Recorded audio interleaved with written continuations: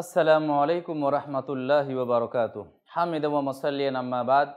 محترم ناظرین، جس طرح سے اللہ تعالیٰ کو تنہائی کی عبادت بہت ہی زیادہ پسند ہے، اللہ تبارک و تعالیٰ تنہائی کی عبادت سے بہت زیادہ خوش ہوتا ہے۔ اسی طرح سے اللہ تبارک و تعالیٰ تنہائی میں کی جانے والی برائیوں سے بہت زیادہ ناراض بھی ہوتا ہے۔ اور دوسرا نقصان یہ ہوتا ہے کہ تنہائی میں کی جانے والی برائیاں بڑی بڑی نیکیوں کو کھا جاتی ہیں، بڑی بڑی وزن دار نیکیوں کو بے وزن بنا کر کے رکھ دیتی ہیں۔ دل کو دہلا دینے والی بات ہے۔ کتنے ایسے لوگ ہیں جو نمازی ہیں، کتنے ایسے لوگ ہیں جو تہجد گزار ہیں۔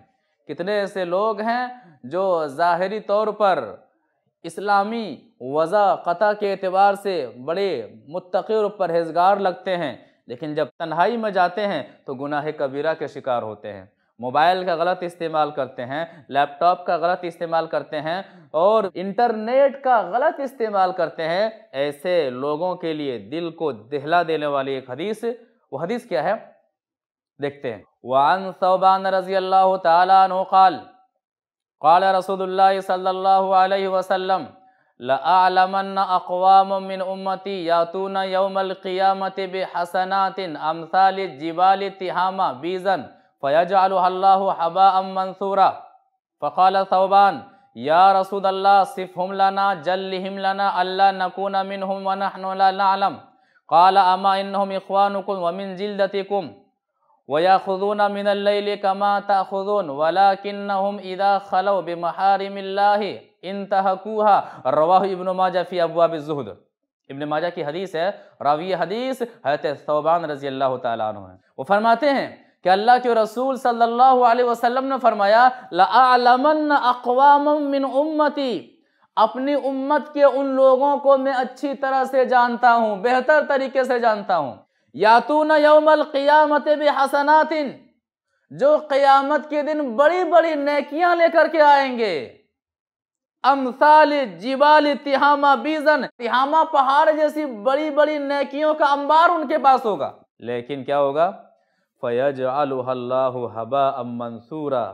اللہ تبارک و تعالی ان کی بڑی بڑی نیکیوں کو، پہاڑ جیسی نیکیوں کو ہواؤں میں ریت کے، ذرات کے اڑنے کی طرح اڑا دے گا یعنی اس کی کوئی حیثیت نہیں ہوگی۔ اللہ اکبر۔ اتنا اہم معاملہ ہوگا۔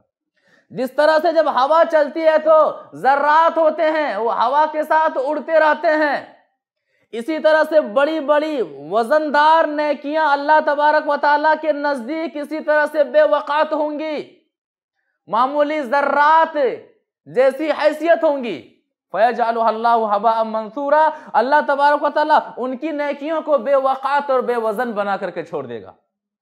صحابی رسول حضرت صوبان رضی اللہ تعالیٰ عنہ فوراً سوال کرتے ہیں، اے اللہ کے رسول صلی اللہ علیہ وسلم، صرف ہم لنا جلہم لنا۔ اے اللہ کے رسول صلی اللہ علیہ وسلم، یہ بدنصیب کون لوگ ہوں گے؟ یہ نیکیاں ہوں گی، لیکن اللہ تبارک و تعالیٰ برباد کر دے گا، قبول نہیں کرے گا۔ اے اللہ کے رسول صلی اللہ علیہ وسلم، ایسے لوگوں کے بارے میں ہمیں بتلائیے، ایسے لوگوں کی صفات کو ہمیں بتلائیے۔ کہیں ایسا نہ ہو کہ ہم بھی لا علمی میں انہی لوگوں جیسا ہو جائیں، انہی لوگوں میں شمار ہو جائیں۔ کہتے ہیں صحبان اما انہم اخوانکم، وہ تمہارے ہی بھائیوں میں سے ہوں گے۔ وَمِن جِلْدَتِكُمْ وہ تمہاری ہی قوموں میں سے ہوں گے۔ اور ایک عجیب بات وَيَاخُذُونَ مِنَ اللَّيْلِ كَمَا تَاخُذُونَ صوبان، جس طرح سے آپ لوگ رات میں قیام کرتے ہو تحجد کا اہتمام کرتے ہو، رات کا آخری حصہ اللہ کے لیے لگاتے ہو، وہ لوگ ایسے ہی ہوں گے، وہ لوگ بھی رات میں قیام کرنے والے ہوں گے، اللہ تبارک و تعالیٰ کو پکارنے والے ہوں گے۔ جی یہ نیکیاں بھی ہوں گی۔ معاملہ کیا ہوگا اللہ کے رسول صلی اللہ علیہ وسلم؟ پھر معاملہ کیا ہوگا جب اتنی بڑی بڑی نیکیاں ہوں گی، پھر بھی اللہ تبارک و تعالیٰ نیکیوں کو ضائع کر دے گا، برباد کر دے گا، معاملہ کیا ہوگا؟ کہتے ہیں صحبان ایک خامی اس کے اندر ہوگی، بہت بڑی خامی۔ جب تنہائی کا وقت پائیں گے، جب فرصت کا وقت پائیں گے، جب بند کمرے میں ہوں گے، حرام کام کریں گے فرصت کے وقت میں۔ جب دنیا دیکھ نہیں رہی ہوگی تو بند کمرے میں۔ وہ غلط کام کریں گے۔ کہاں ہے موبائل کا غلط استعمال کرنے والے؟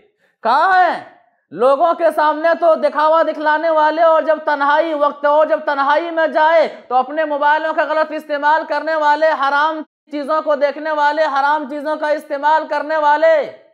حدیث رسول کہتی ہے کہ ساری نیکیاں برباد ہو جائیں گی، سارے اعمال برباد ہو جائیں گے۔ اللہ تبارک و تعالیٰ پہاڑ جیسی نیکیوں کو بے وقت بنا کر کے چھوڑ دے گا۔ لہٰذا جب ہم عمل کرنے کے بعد تنہائی میں جا کر کے اگر برائی کر رہے ہیں، حرام کام کی جانب ہماری رغبت ہو رہی ہے، ہماری چاہت ہو رہی ہے اور حرام کام کر رہے ہیں۔ یاد رکھیے گا، اللہ تعالیٰ سے ڈریے۔ اللہ تبارک و تعالیٰ کا خوف کھائیے، ہم کیا کر رہے ہیں؟ اللہ دیکھ رہا ہے اور یہ اتنا بڑا جرم ہے کہ اللہ تبارک و تعالیٰ کی جانے والی نیکیوں کو برباد کر دے رہا ہے۔ محترم ناظرین، اگر آپ بھی موبائل کے غلط استعمال کرتے ہیں تنہائی میں غلط کام کرتے ہیں، فحش کام کرتے ہیں، حرام کام کرتے ہیں، کسی بھی ذریعے سے، کسی بھی اعتبار سے اللہ کے لیے چھوڑ دیں۔ ورنہ نیکیاں برباد ہو جائیں گی۔ بڑی سی بڑی نیکیوں کو اللہ تبارک و تعالیٰ ناکارہ بنا کر کے چھوڑ دے گا۔ دعا کرتے ہیں کہ اللہ تبارک و تعالیٰ ہمیں نیکیوں کی حفاظت کرنے کو توفیق عطا فرما۔ اور جلوت کے ساتھ ساتھ خلوت میں بھی یعنی تنہائی میں بھی رب سے ڈرنے اور رب کا خوف لے کر کے زندگی گزارنے کی توفیق عطا فرما۔ آمین۔ والسلام علیکم ورحمۃ اللہ وبرکاتہ۔ ایسے ہی اور ویڈیوز بنانے میں ہماری مدد کریں۔